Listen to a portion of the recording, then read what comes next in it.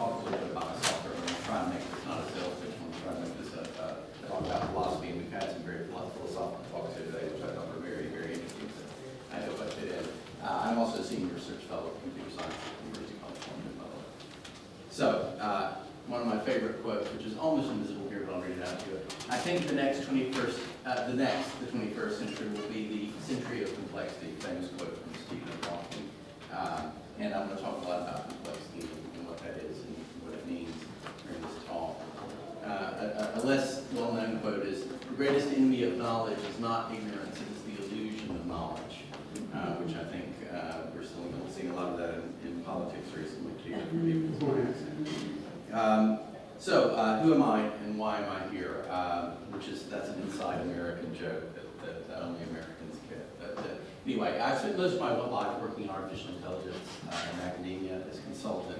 I've worked uh, with most of the U.S. services and uh, a lot of the contractors over the years, doing stuff in evolutionary computation, um, expert systems, neural networks, pretty much the gamut of things, deep learning a little bit, uh, pretty much again of things that people are, are, are doing in AI. I've done a bit of over the years. And you, you learn a few things uh, working in, in AI. In fact, you learn the two things. And, if anybody know about the two things, there are always two things about it, anything. And uh, uh, there's actually a site on the internet where you can go and learn the two things about everything. So give you of the two things, and then give you the two things that I think matter. The two things about economics are, any guesses? Incentives matter, that's the first one, and there is no free lunch. Those are the two things about economics. So now the two things about engineering, I love this one. It's all about trade-offs. The trade-offs are all about money, time, and quality. There's nothing else in the um, The two things about civil engineering is one of my favorite ones. Dirt plus water equals mud, and then you can't push a road. I used to teach uh, engineering science and mechanics a long time ago, and, and you can't push a road. It's one of the most important things you can learn. Uh, the two things about computer science. So here's one everybody will be able to relate to. I really like this one. All computers are equivalent. And abstraction allows us to manage complexity. So we're getting back to the topic now about complexity. Abstraction allows us to manage. That's what, uh, that's what, complexity management is all about, is, is how do you abstract things into, into what I'll call models. And the two things about AI, and uh, uh, these, these, are, uh, these are from the website. Uh, real AI is very, very hard, and uh, as soon as a branch of AI has any practical application, it, it ceases to be AI. yes, but but uh, the two things about AI is, that I read these is as having been a consultant in the done a lot of real world AI applications, it comes down to this. There's a, first the first thing is representation, representation, representation. Not as interesting a title the first show as that one with, with Kirsten And uh, the last one is where we find the data. Uh, every time you go into do a consultancy, it's about what representation do you use, where do you find the data. Actually, once you've got those two things done, everything else works. Because uh, as long as you, you find out really in AI that designing the representation is the entire problem. The next problem is if you use a data-driven application is where you're going to get the data. Once you get the data representation right, everything else follows. And, uh, elegant small algorithms work well. But uh, what's this got to do with what I'm talking about today? Representation, representation, representation is the first thing I want to talk about. Uh, and the way that we handle complexity is through abstraction. So that's all about, uh, abstraction is all about representation. I think it is the same thing. You know, how do you abstract uh, a complicated thing to basically uh, have a way of getting your head around it? And, and in some ways, perhaps architecture is like that a bit in some ways too. So we have to ask ourselves, what do we mean by the word complexity? And that word has become a loaded word, and a loaded word in an interesting way that I want to talk about. Um, so the first thing about it is, what the dictionary says. It says that complexity is the quality or condition of being difficult to understand or lacking simplicity, uh, which is sort of like a definition that, that needs its own. Complexity, complexity is the opposite of simplicity, so we just say simplicity is the thing that doesn't have simplicity, it's complex. But uh, it's, it's hard to understand complexity, that's, that's what it comes down to. In practice, in, in uh, the world today, it's come to mean two things. And this is what makes uh, Hawking's uh, complexity statement a bit of a, a, complex complexity statement.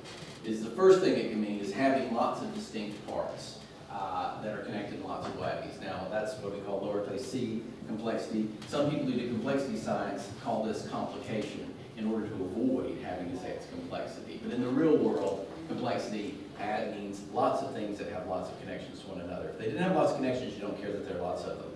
If they, if they, uh, you, and you have to have lots of things to have lots of connections. So effectively, it's about things and their connections is what, what complexity is in that sense, lower c, lowercase c complexity.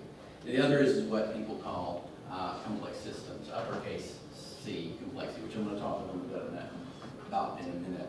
Uh, that's the complexity science part. When you talk about people who are complexity science, scientists, that's what they're talking about. Not, I may have been a bit of complexity science and the scientists in the past. I worked at the Center for Nonlinear Studies at Los Alamos National Labs, and I uh, uh, worked at the Santa Fe Institute. So I, I have a little bit of a complex system thing. So uh, complex in the sense of complicated, lots of parts and how they fit together. Now, this is something we actually make, all right? This is not a, a fantasy. We actually make the A380. And the A380 is comprised of 4 million individual parts, about 2.5 million individual part numbers. So look at that ratio there. It's not a terribly high ratio. All of these things are very different. It has uh, 310 miles of electrical wiring. Um, I didn't realize until I got into BOXARR, and I'll tell you how BOXARR relates to A380 in a minute, uh, that uh, planes are largely boxes that carry wires around in the sky. Uh, uh, it has immensely complicated software with extreme with extremes of backup uh, systems and extremes of um, verification and validation that go on. Uh, the software in aircraft is probably the most D&B software in the world. Um, it's produced from 1,500 different suppliers. That's well over 1,500 as a matter of fact, and I know that for a fact. Uh, it, it could be as many as 3,000, and no one knows quite how many anything about it. No one knows how many people supply all the parts for 380. Across 30 different countries, uh, all designed and assembled by thousands of engineers uh, located in many countries and individually customized to 13 different airline operators. And this is a, a non-trivial fact, the fact that it's highly customized. It used to be that planes were bought in large quantities and they were all pretty much the same inside. Uh, that reality doesn't exist anymore. Planes can be bought, bought in quantities as small as one quite frequently and often less than 10. And those 10 will be alike, but, uh, but they're different from every other plane. So you can imagine the complexity of managing that as an assembly. And it's assembled across multiple sites in the UK, France, Germany, and Spain, as we all know. And they all need to come together exactly in the right order, in exactly in the right place, at exactly the right time, so that you can fly to South Africa, which I'm going to do later this year. So that is little, that's lowercase c complexity. Uppercase c complexity is this thing. How many people know this is off the top of their heads? Ah, there's one.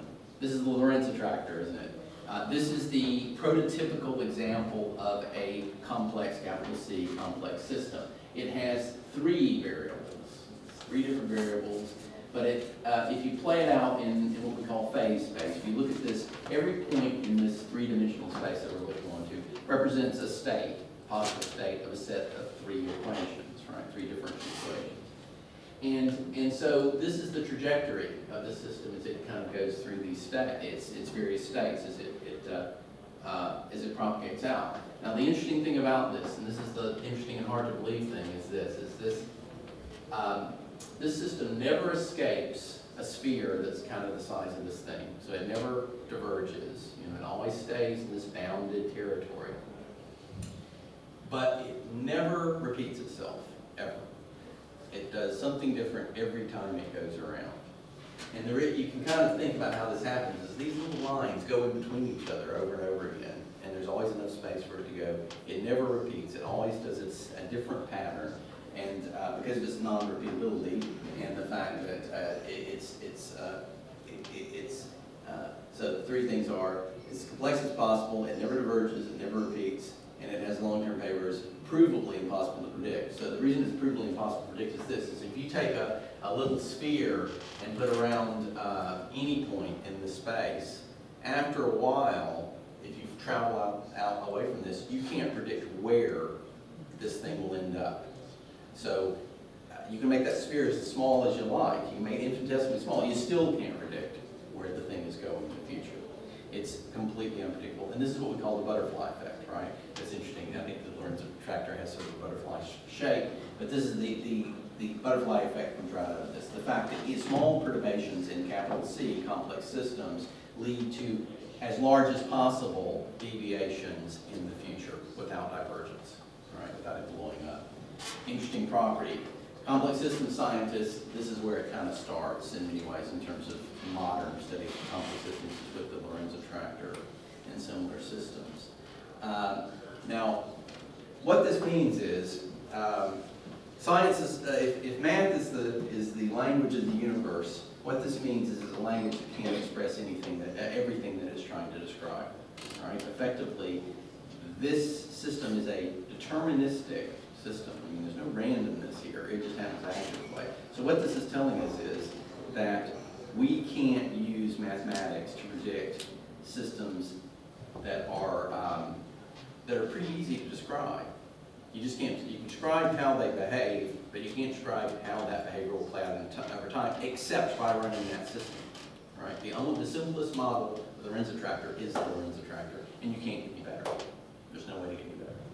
So that's interesting. So, so in some ways, this says that uh, complexity science could be, capital C complexity science could be renamed the limits of science science. This is basically telling us where our limitations are with regard to modeling of things with mathematics. And uh, this is something that Stephen Hawking never said or read out that says the next 20, I think the next century will be the century of the limits of science. He never said that. But if you substitute complexity for limits of science for complexity, that's what it's saying. We are now in the century where we're examining the limits of scientific models. That's what's interesting to me. And let's remember that his other statement is the greatest enemy of knowledge is not ignorance, but the illusion of knowledge. So let's not fool ourselves. That's what complexity is actually about. We're now dealing with systems that uh, we know we cannot fully describe by abstraction to simplify the model because there is that the model that the system itself is the best model. You can't do any better. Okay. So um, we know from complex system, C, complex systems science, that very simple systems can be completely impossible to predict. We know that as a fact. Complex system science, therefore, almost exclusively focuses on very simple systems in a way. Either systems with very few elements, the three variables of the Lorenz attractor, or systems with lots of elements, like an agent simulation, that have very simple dynamics for each agent. And they look at how complex things come out of these simple things. That's what complexity science is really largely focused on. But we live in a world where we make these, right? This is what we make, all right? These systems that have lowercase c complexity, and we know that we have to face up to uppercase c complexity. And I find that a really frightening prospect about the world. But the fortunate thing is we've been dealing with capital C complexity since uh, we crawled out of the muck. So we know how, how to do it in some ways. Now, uh, we do have this phenomenon that complex systems behaviors can be undesirable. Here's the flash crash, whoever remembers that in, in the uh, uh, October 7th, I forget year it was, but this is just a, a technical glitch in the nature of economic markets is what it amounts to, that caused a huge amount of value to be written off for a very, very short time, the flash crash. And what the flash crash worries you, makes you worry about is that more dramatic, unpredictable behavior may become in the future in the economic markets, it is, and we don't really understand it that well. And uh, here's another one, is British Airways' uh, recent troubles. Uh, you know, effectively, we have extremely complicated systems uh, handling businesses, handling safety critical systems, uh, and we, we should expect that lowercase c complex systems will have uppercase c complex systems behavior. So what can we do about understanding and, and facing up to that, that reality? Now, um, come up with new abstractions. That's, that's one of the solutions. Uh, we come up with more with abstractions to handle complexity, but there are some rules about what we should do. Now, for AI guys, these are representations. I've said that already. And the language for encoding representation of knowledge has been an important thread throughout AI history. Effectively, uh, knowledge representation is a field of its study. But it's a, it's a field that uh, has had some interesting developments. Now, powerful tools have been developed in big data analytics, uh, and there's a word cloud about things about big data analytics. Um, I think someone else used in a presentation earlier today.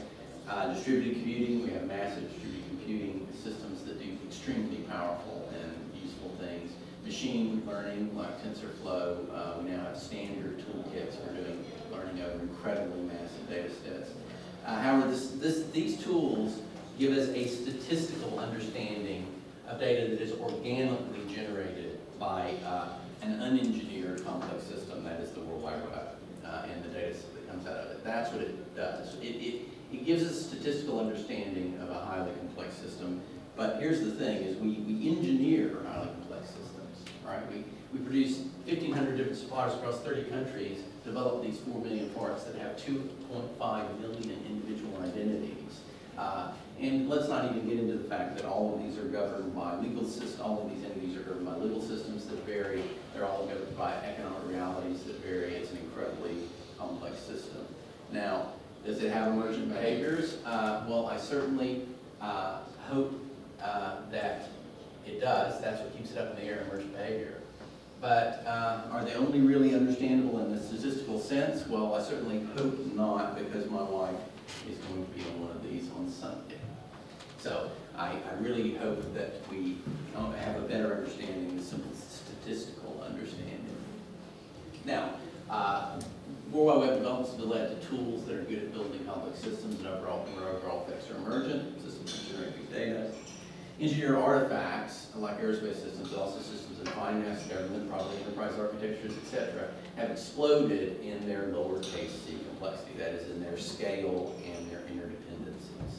So, engineering tools being used to design and understand engineering artifacts with massive number of elements and interdependencies with the digital system-wide behaviors are pretty Stone Age. Uh, most people still, uh, right, I'll tell you an anecdote. Went to uh, Boeing to examine the uh, production system for 737 to help them with our software, use our software to, to manage that system. The way that the production system for wiring harnesses that go to 737 was managed less than a year ago was they had one guy in his late 50s who built a Visio diagram that had to be printed out on a piece of paper 21 feet long and 7 feet wide, rolled out onto a table, and production engineers annotated it with pens and pencils, and then uh, he would go back and redraw draw the diagram again. That was the way it was done. Okay. Now it's done with BOXARR, a piece of software that he makes, and that allowed them to save 900 man hours by moving some boxes and arrows around. But what we did is we made a tool that basically got past the Stone Age limitation of how people draw boxes and arrows diagrams at real world scale of lowercase c complexity. So uh, we need new tools, and this is what my company does. It makes a new tool for big systems, not just for big data, for draw for engineering big systems. And I want to talk about some principles. I'm only going to show you BOXARR, my tool, if I have time, because it's not a sales pitch, but I am going to um, I want to talk about the principles that I think are important here, and these principles that we're using to build. Uh, tools should mold to users' hands and minds. Uh, you know, I think that too many tools uh, in, in, in the space of big systems understanding are really tools that are made for machines to understand data generated by other machines. They're not made for people to understand data generated by complex systems. Uh, machines should aid humans, not the other way around. Uh, it should be easier to re-engineer models than it is to re-engineer the systems being modeled. If it's as complicated, Visio diagram given as an example, if it's that complicated to re-engineer a diagram, what hope do you have of re-engineering the system the diagram is up? And that's a really important thing. Models should uh, reveal and enable, not hide and obscure computations. Uh, uh, I think a lot of machine learning algorithms, even though I've got a machine learning background, a lot of machine learning algorithms are black boxes, so you can't really see what it is they, uh, what they're showing you uh, at the level of details. And those of details are where you get the insights that allow you to make innovation. It should be possible to see the, uh, to see the forest, handle big system scale, but also pick out the trees you want to see, easily filter, and easily describe subsets. Those are kind of the principles that I think are important for handling big systems. Now, let me talk about this, um, this idea of, um, of molding to the user's hands. If you haven't seen this, Tom Wujec's uh, TED Talk is really good. And, uh, I, I don't know Tom, I've never met him. If anybody does know him, please send him my email because I can't get a hold of him for the life of me. We're trying to get a hold of forever, but his, his talk is really good. He goes out and he talks to people about how to make toast. And he's, he's done this with lots and lots of people, and inevitably, the vast majority of people draw boxes and arrows diagram of how to make toast. That's apparently how we think boxes, this state, then that state, then that state, and perhaps divergences. Boxes and arrows, the fundamental language of doing things. And uh, just how, how to make toast uh, video really makes that very clear. Uh, That's why box art companion is built around boxes and arrows. It's a universal human readable language of engineers ever since the creation of uh, and bullets. And um, uh, machines should hate humans, not the other way around. Uh, Many modeling systems focus inadvertently on machine readability as opposed to focusing on human readability. You have to take a course to understand how to read boxes and diagrams in most, um, that are used in most uh, SysML, UML, et cetera. You have to be trained to understand a boxes and arrows diagram as opposed to it being a natural thing that you just do. And if you go from one boxes and arrows diagram to another one, you're lost. So uh, this doesn't work very well in the industry, by the way, for trying to get knowledge out of people. Uh, Extensive training engineers to the machine standards, rather than flexibly and naturally modeling for free innovation. And I think that's pretty important. Uh, Easy to engineer models and three systems in modeling. Uh, good engineers, we must not use models with systems, particularly in complex systems, because as I said previously, complex systems, and characteristics are, they are their own best models. Uh, And uh, complex systems cannot be modeled completely without creating something complex system itself. And this brings up my favorite quote, which I, I've been in so many talks that uh, all my friends are tired of, is GEP Box's famous quote, all models are wrong, some models are useful. And the thing about this quote is this, it sounds like a flippancy.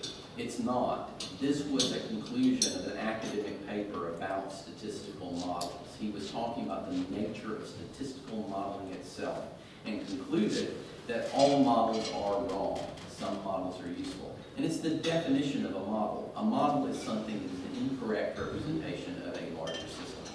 If it were a correct representation, it would be the system itself, and as we know in complex systems, the only thing you can do is model, because effectively you can never represent the system anymore, uh, any better than it represents itself. So think about that in terms of the capital C little c thing. And then finally, um, thing I want to talk about is, I'm running out of time here. Uh, consider the advent of, of uh, spreadsheets 35 years ago. I, I think that uh, spreadsheets are great. They're a new computing paradigm. They're used so broadly, it's ridiculous. They revolutionized computing with a representation. There's nothing that's going on in the spreadsheet that wasn't going on in, um, in basic computing Fortran previously. There's nothing going on there, except that you can see it in a different way, and that's very important. Uh, uh, you know, engineering knowledge is, much of it's not engineering knowledge is now in spreadsheets, which is both a good thing and a bad thing. The bad thing about it is, uh, spreadsheets are one of the most unreadable forms of coding in the world. If the guy who writes a complicated spreadsheet drops dead, you throw the spreadsheet away and hire a new guy to write it again, because you'll never figure out what the spreadsheet meant. They are incredibly hard to understand. They obscure, uh, they obscure computation in many ways. They're very useful, representations are very useful, uh, but they, they have a problem, and this is a real industrial problem of knowledge loss. So, um, I said that already. Big system tools have to be different, they have to. And I, I to tell you a little bit about BOXARR, but I'm running, running out of time. Uh, creates uh, easy models through drag and drop interaction, flag interaction, and data integration, uses just boxes and arrows, makes interdependencies visualizable, it's extensible, uh, and has powerful filtering, handles massive scale. For instance, we model the globe, this could be back to the reason I showed you Airbus, is we model the global supply chain for Airbus. It's a model of boxes and arrows that has hundreds of thousands of boxes, millions of data elements. And the way it works, and since I don't have time to show you the tool, I'll I'll the way it works, I think this resonates with some previous talks. It basically has this huge diagram of boxes and arrows versus the supply chain. It's organized into visual groupings by, initially just by which airplane does it go on, and then the hierarchy goes down to the subsystems. But it also has a hierarchy of contracts, it has a hierarchy of locations, it has a hierarchy of phases of build, tiers in the supply chain. Those are all visualizable groupings that you can switch between and you can cut and paste. So effectively, uh, what you can do is say, show me every part made out of composites downstream of Spain that's on a particular contract that um, goes on A380 and A320 to satisfy particular KPIs. You can do that with clicks, mouse clicks, and because of that, supply chain crises that they have, like a factory burning down in Spain, used to take them uh, weeks to get their heads around. That's not to solve the problem, weeks to understand the problem itself. Now they do that in half a day. So that's, that's what we've done. And that's all, it's not about, there's no rocket science, there's no machine learning, there's no AI here. It's about enabling people to do their jobs better through representations of oxygen So I, uh, I'm not going to show you the Intel demonstration, I don't have enough time. But there's the forest.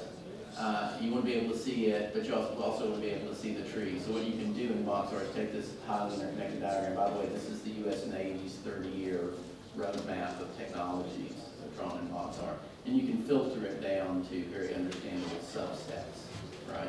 You can just basically say, show me things with this property. and It takes you down to that, and then you can look at it from a lot of different perspectives. Now, I'm running out of time very severely. I'm trying to go quickly. So tell them what you told them.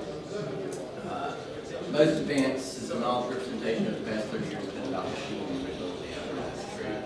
This facilitate the emergence of the World Wide Web at the same time the complexity of human architects, artifacts, including enterprise architecture, I believe, has exploded. Many new tools exist, but they are focused on statistical understanding of emergent systems, not on engineering of intentional systems. And I provided some guidelines for how to manage complexity by machines, enabling human readability rather than the other way around. So I'll stop there you questions.